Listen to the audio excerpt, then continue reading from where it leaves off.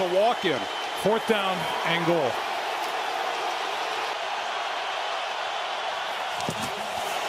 They fake the handoff. Everett wide open. Touchdown, LA.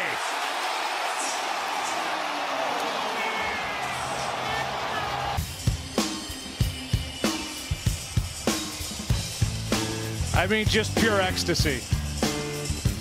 For this Chargers fan, as the Chargers have tied it at 17. If there's a definition of pure ecstasy, that's it. First sack of the night. Herbert gets rid of it and he's picked. Intercepted by the Cowboys.